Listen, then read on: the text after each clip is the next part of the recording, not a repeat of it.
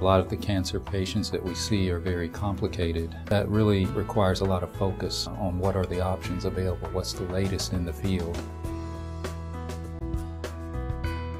My name is Brian Randolph. I'm a medical oncologist at CTCA in Newnan. It's one of the first places I've really worked where you have an administration that's supportive of your clinical goals for the patients and are sincere in that the patient comes first. CTCA, care that never quits.